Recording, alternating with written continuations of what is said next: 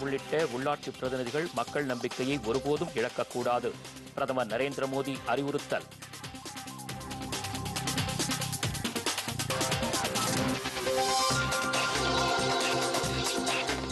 தற்சார்பு இந்தியா இலக்கை எட்டுவதில் தொழில் நிறுவனங்களின் பங்கு முக்கியம்.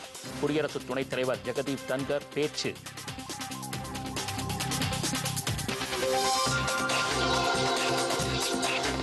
மாசற்ற மின்சார உற்பத்தியில் இந்தியா அதிவேக முன்னேற்றம் கண்டு வருகிறது. உலக பின்டெக் மாநாட்டில் மத்திய நிதியமைச்சர் நிர்மலா சீதாராமன் பேச்சு.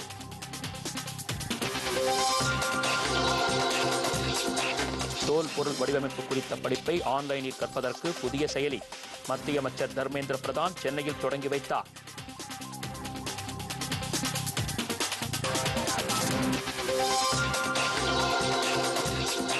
ரயில் நிலையங்கள் இல்லாத நூற்று முப்பத்தி இரண்டு மாவட்டங்களில் விரைவில் ரயில் இணைப்பு.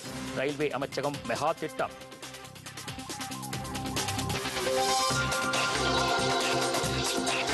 சட்ட மாணவர்களின் வாதத்திறனை ஏழை எளிய மக்களின் நீதிக்காக பயன்படுத்த வேண்டும்.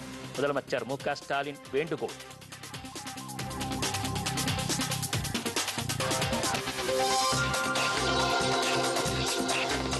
மத்திய உள்துறை அமைச்சர் அமித்ஷாவுடன் தமிழக எதிர்க்கட்சித் தலைவர் எடப்பாடி பழனிசாமி சந்திப்பு.